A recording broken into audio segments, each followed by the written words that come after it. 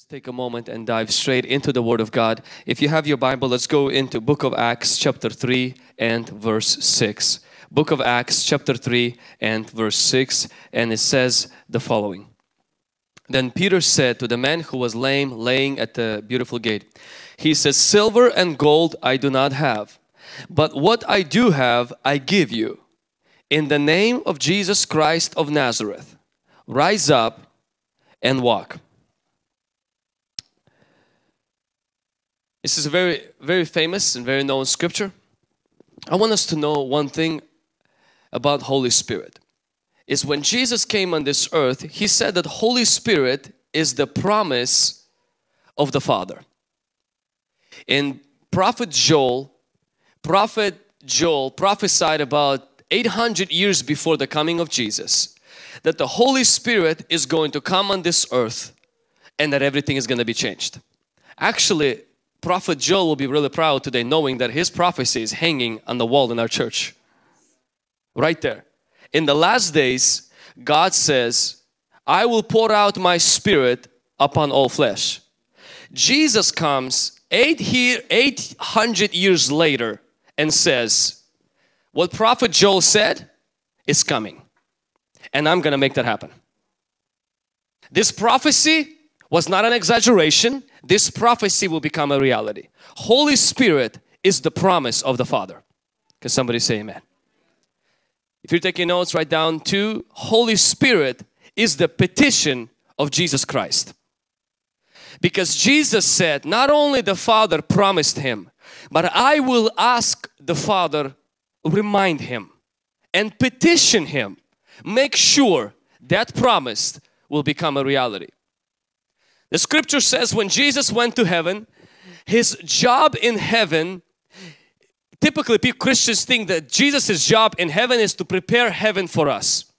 But the Bible says that Jesus' job in heaven is to intercede for us, not to prepare heaven for us. Because if He's preparing heaven for us, it doesn't make sense in a way that people who died before us, they went where?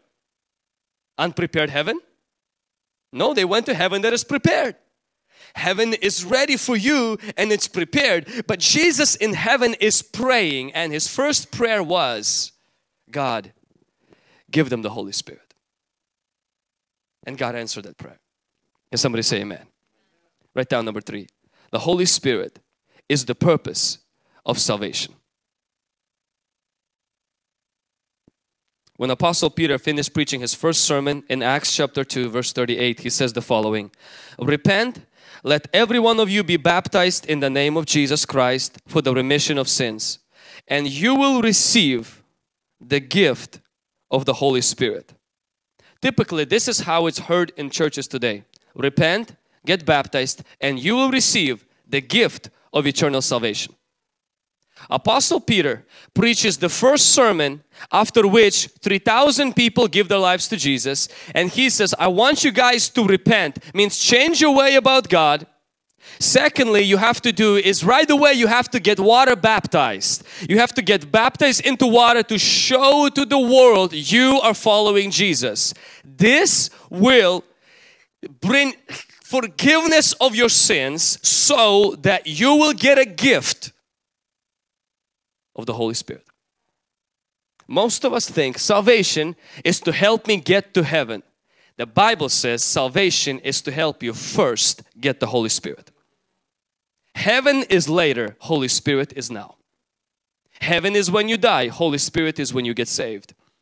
The purpose of your salvation is not just a ticket to heaven. The purpose of your salvation is the invitation of the greatest person who is on this earth today. That person is not Bill Gates. That person is not Barack Obama. These men are powerful, influential. These men are not the makers of the world. They influencing. Holy Spirit is. And salvation invites him in. Can somebody say amen?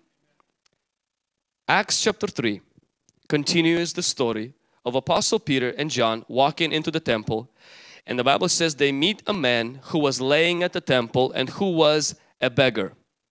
He was homeless or he was very poor and he was begging for money.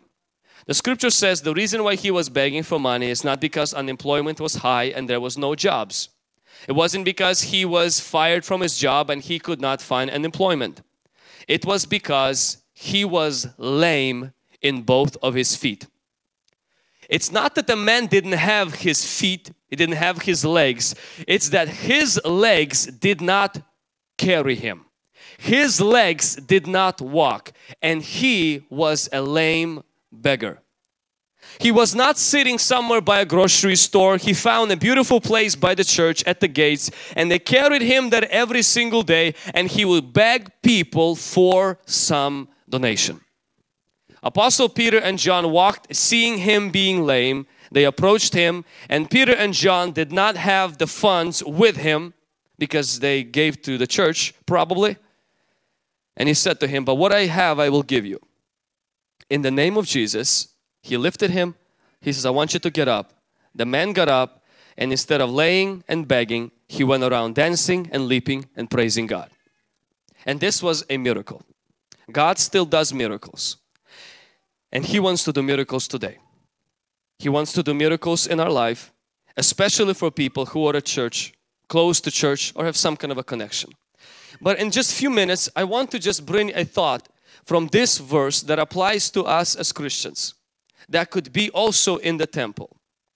And we'll title this thought The Lame Christian. And the lame not meaning crazy, is stupid. The lame meaning somebody who has something at his disposal he's currently don't know how to use. Lame Christian is someone who spends his life laying instead of leaping, begging instead of commanding. Lame Christian is someone who gets dragged instead of bringing others. Lame Christian is someone who has the legs that's supposed to carry him, but he is carrying them. Lame Christian is something, someone who has everything he needs inside of him and does not know how to tap it. Lame Christian is someone who is constantly asking for something from someone not knowing his bigger need is not what he's asking is something else. If you take notes, let's just write a few notes down and then um, I just want to share that thought in those points. The lame man is someone who is at the temple, has legs, but his legs don't carry him. I want you to, this is not theologically correct, to imagine what legs meant to that man, Holy Spirit is to you. He had legs but didn't walk. Many people have the Holy Spirit but do not walk in Him. Point number two. Having legs does not mean you know how to walk. You had legs the first day you came out of your mother's womb, but you learned to walk months later.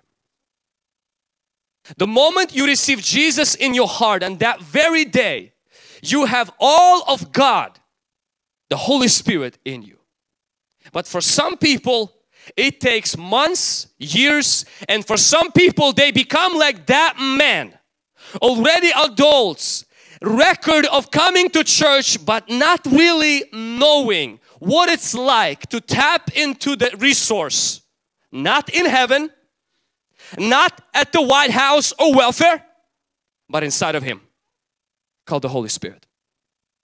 Having legs does not necessarily mean you know how to walk. Having the Holy Spirit does not necessarily mean you already walk in Him. Most of the things come into our life in the package. If you get a vacuumer, you get a TV, or if you get a table, it will all be disconnected. And when you get it into the house, you will say, I asked for a table, I got a piece of wood. And that's exactly how it comes to the Holy Spirit. God gives us the Holy Spirit, but many times it is our duty, it is our job to learn how to walk in the Holy Spirit we have. Or else we live our life carrying Him instead of Him carrying us. Or else we live our life and these legs this man had to carry, they were not designed for him to carry his legs. Legs are given to man so that legs will carry the man, not the other way around. But for many people, Holy Spirit is just someone they carry, but it's not someone that carries them. Point number three. No one is born walking. We learn to walk, or else we end up perfecting the skill of crawling. The Bible divides Christian life into two categories walking or crawling. Walking is the Bible says, walk in the spirit.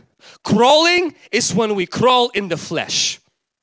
Flesh is not necessarily smoking, drinking, and immorality. Flesh is simply a life of a Christian that has everything of God, but using none of it life of flesh is having the Holy Spirit but constantly leaning on you, your efforts, your education, your connections, your influence, constantly being defined by your weakness and your strengths instead of allowing the Holy Spirit to carry you through.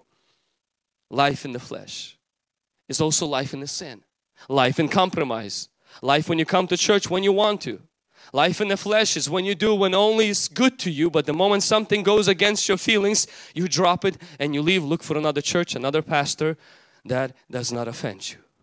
Life in the flesh. We have a lot of people who crawl. It's completely fine if you're two months old, but it's not fine if you're 20 year old. If you've been in church longer than these pews, that's not fine. And most of us, we learn how to crawl a lot better and to learn how to walk. Point number four.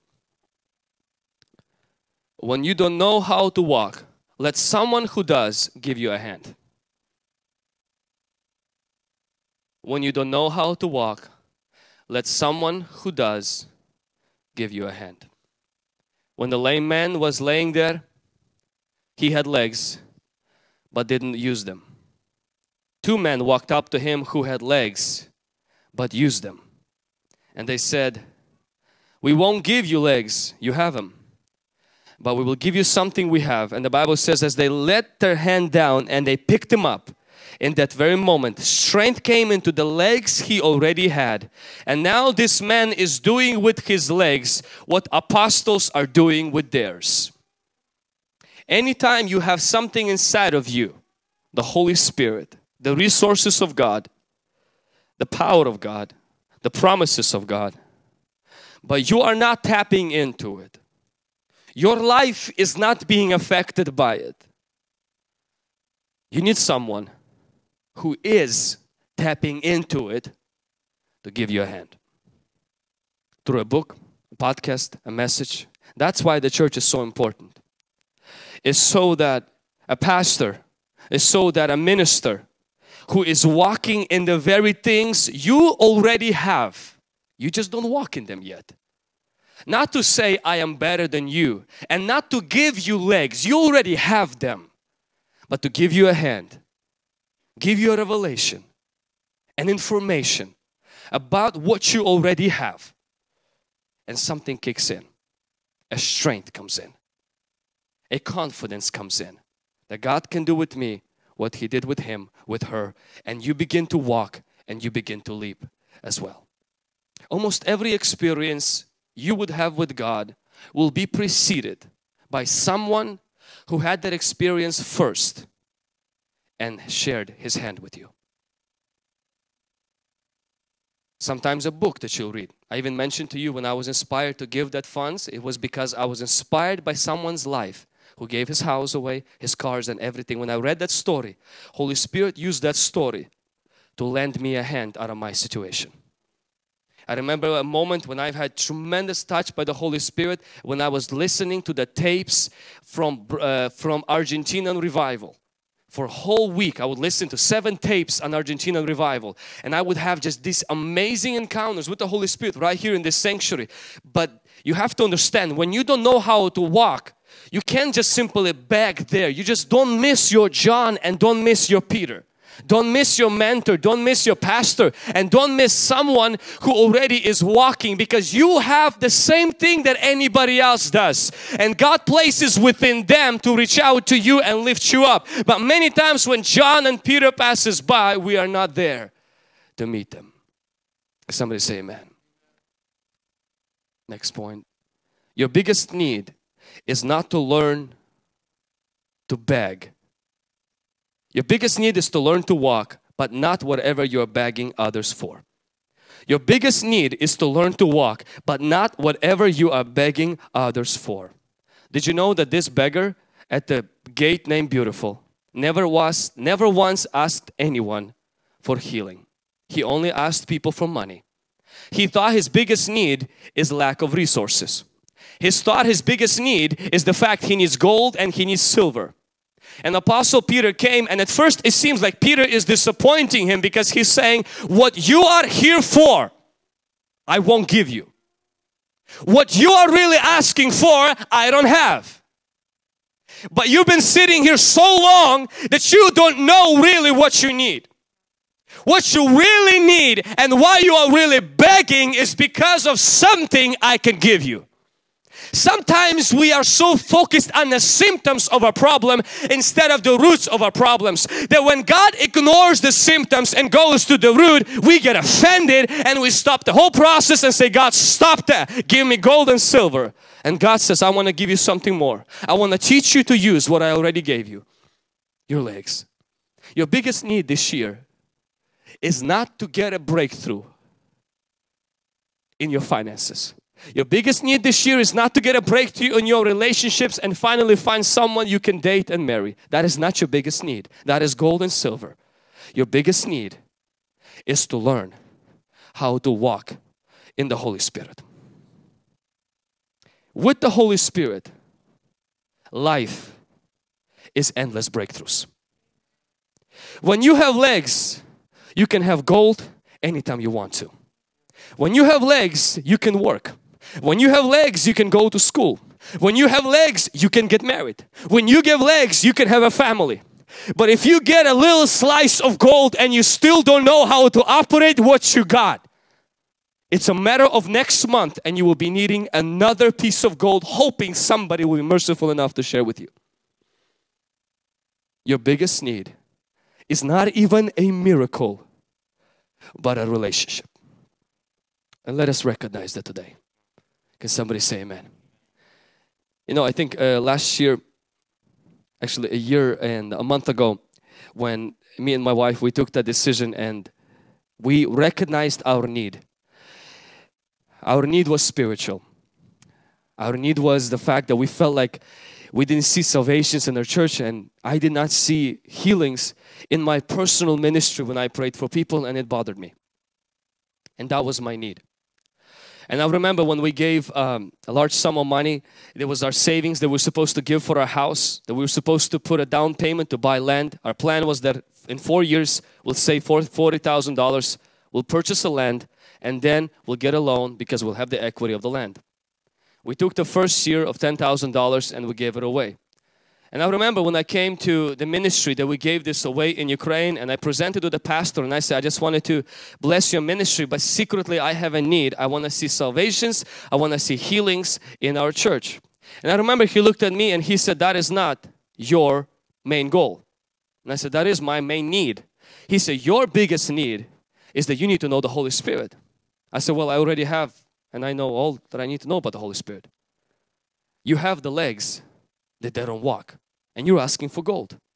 Asking for salvations and for healings was like asking for silver and gold. It's precious things, but not the most important things. The most important things was to learn to walk in the Holy Spirit I already had. Nobody gave me the Holy Spirit. Jesus did that. No book can give you the Holy Spirit. No pastor can give you the Holy Spirit. No church can give you the Holy Spirit. Only Jesus gives you the Holy Spirit. But you need the book, you need the pastor, and you need the church to learn how to walk in the Holy Spirit Jesus gives you. And I remember when that pastor prayed for me. And he prayed for that, that I will know the Holy Spirit more. That I will begin to just at least get an introduction to who He is. Though I knew I knew Him. And, and that journey began. It was slowly but surely. I started to just pay attention to my conscience, started to just, just, just really just watch over myself. And as a result, we started to see more salvations. We started to see more healings. The interesting part is this, is that a few months later, there was land for sale close to church. You can put up the picture of just the bare land. Uh, you probably drove by this place this land was for sale. And my father, he found it on Craigslist and he said, hey, there's wonderful land. And I was like, man, looks so good, close to church, close to my wife's work. The only problem is I ain't gotten any stash. And that's what I'm like, man, I should have not gave that away. so good place to invest it. And uh, praise God for the Holy Spirit and praise God for good dads. And, and my, my dad, he said, I'll loan you the money. and he, he loaned me the money. I was able to scrape up some and st- still owed him $15,000. A few months later, we got the bank and all of this stuff. And next thing that happened is that we built a house. If you can put up the picture of the actual house, so you can drive by and see that. That's my casa. But the interesting part is that how miraculous this happened because I gave that up so that I can get miracles. Turns out I didn't need miracles first, I needed the Holy Spirit first. Miracles came as a result. In my wildest dreams, I would have never thought last year, at this point of my life, something like this could happen. The craziest part is this when the house was completed, I borrowed money from the bank. It was about $160,000 for building of this house. This included taxes, builder's fees, and all of the other things that will cover it. If you do construction or you have any idea about remodeling or building something, you know this. Any money you plan you're going to spend, you always have to add a little bit more on the top. And so I kind of expected that that's what's going to happen because we will probably want something a little bit nicer, something this, something that. But secretly, I had a dream. And this was the dream is when I finish building the house and I get the last penny from the bank, at the same time, I'll be able to save enough money from building the house that all of the debt I owe to my father, we paid off. It's a wild dream. People said I'm crazy. People said that cannot happen, and that doesn't happen. It happened yesterday.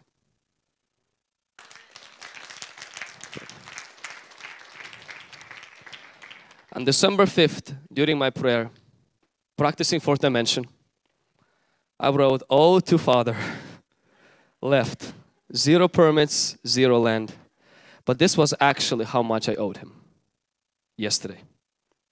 5,000 for permits, 15. Somebody's like, well, where's this get dad keeps his money? Don't worry, it's his equity. Don't line up to borrow money from him. And 21 total. This was the actual, and for a month, I kept this in my prayer, looking at it, looking at it, looking at it. And anytime somebody would do something on the house, and in the bid they said 4,000, but they bring us the receipt for four and a half, I would go back here and I said, God, I need you to help me. You don't have to, Lord, but this would really, really appreciate. I remember when a few months ago we gave the car and I was thinking I'm a fool. I could have sold that and helped me pay off my dad's debt. But I said, Holy Spirit, $3,000 is not going to help me to pay off that debt. But it will help me to sow a seed so you can help me. I remember when about three weeks ago I calculated and I came up that it's, I'm going to be even, zero. And I started crying in my office because in my wildest dreams, I never thought that could be possible. Where $15,000 could be just like that, paid off, and you can go into your house debt free. What I've learned is this you don't need gold first, you need to know how to walk in the Holy Spirit. My desire for this year is not more breakthroughs. My desire this year is Holy Spirit, more of Him. And the last point, point number six once you learn to walk, you will leap and never go back to crawling. Can somebody say amen? Once you learn to walk, you will leap, but never go back to crawling. Holy Spirit is not something we are on, little topic for a season. You know how sometimes you talk about for something, then you kind of move on? Walking is not something you did for a season and then you moved on. Even when you stopped learning to walk, you didn't stop to walk and I made a decision, I'm asking you to make yours. You don't ever go back to a life where Holy Spirit is not in charge. You don't ever go back to a life where Holy Spirit is not leading and filling and guiding you because that life is a life of crawling. And once you taste and once you experience, the Holy Spirit can use you, encourage you, touch you, save people through you, heal people through you, and heal you personally. It does something inside of you. Recognize this life is better than crawling. This life is better than pouring. And this life is better than being bored in church. This life is better than being just mediocre, inconsistent. This life is the life that Peter had, John had, other men and women in this world have. I heard a testimony that really inspired me this week. It was actually last week, my, our pastor shared how there was one young man, uh, an uncle, who was at the home group. And during a home group, while they were praying for their friends and family, like we do, of the ones that we want to see saved, he was praying for his relative. It was his niece. And he was praying for her salvation, just for her life, for her salvation, breakthrough, for many, many, many months already. And in during that prayer, he just received this, just this desire and this picture and this goal that in 30 days she will get saved. He wrote it down that she will get saved in 30 days. Well, the only problem was that at that current place, current time, this wonderful young lady happened to be in the place where they teach the people about the way of life. Call it the jail, right? And so she was not in a place to be saved because she was completely in jail. Not only he wanted her to be saved in 30 days while she was in jail, but he was convinced in 30 days she will move back to living with her family, something she has not done in years. He kept that as he kept believing and praying for that and trusting the Holy Spirit is going to make that happen.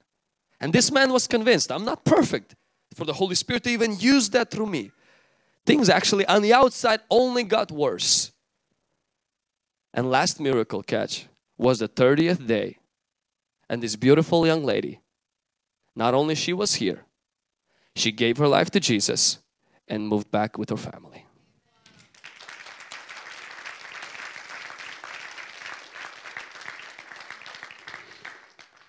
Does that mean that this makes all the stuff go away? This just simply means this. Holy Spirit is not something you should try. You should learn and walk and never go back to crawling and only develop to leap, to jump, and to go further, but never shrink back. And somebody say amen.